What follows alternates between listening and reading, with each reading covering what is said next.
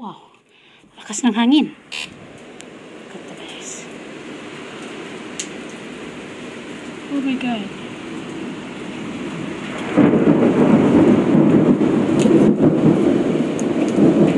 Lakas ng ulan guys. Ang lakas ng hangin. Kulog kidlat pa siya. Grabe.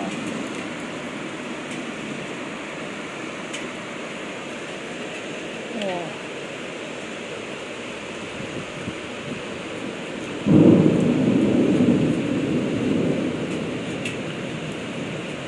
Now is around 2 o'clock in the afternoon. Grabe, ang lakas ng ulan, ang lakas ng kulog.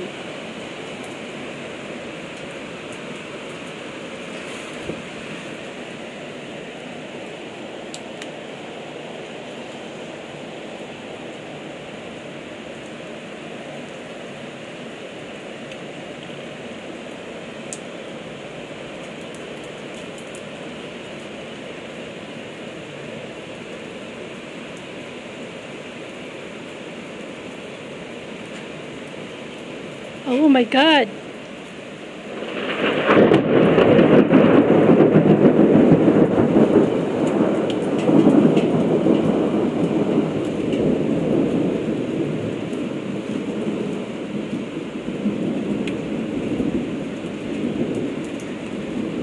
Lakas ng kulog.